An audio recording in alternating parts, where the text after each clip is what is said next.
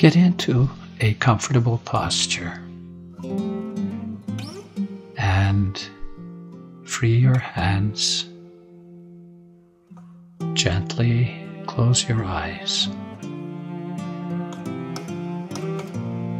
And take three long, slow, quiet, deep breaths. As you breathe out, let your feet relax, your hands and your shoulders and your arms relax,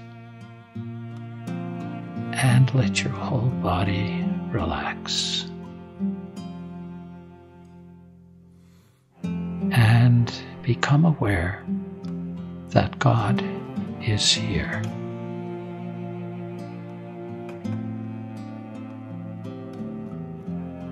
And as a little gratitude prayer, think of something good that you have experienced and live it again in your memory.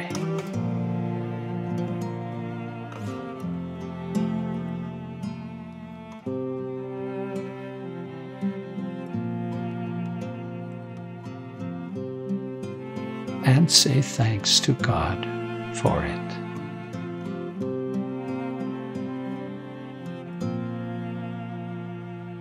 Now, hear the text from today's reading to carry in your heart.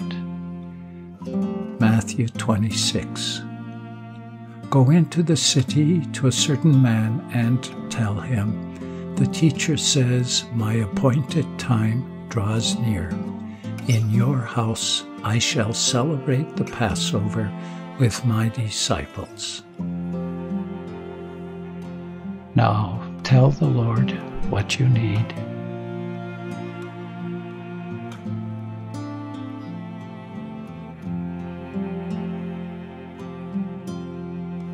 And what you want to ask for others.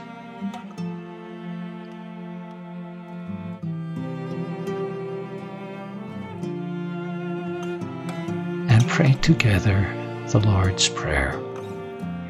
Our Father, who art in heaven, hallowed be thy name. Thy kingdom come, thy will be done on earth as it is in heaven. Give us this day our daily bread, and forgive us our trespasses, as we forgive those who trespass against us. And lead us not into temptation, but deliver us from evil. Amen. In the name of the Father, and of the Son, and of the Holy Spirit. Amen.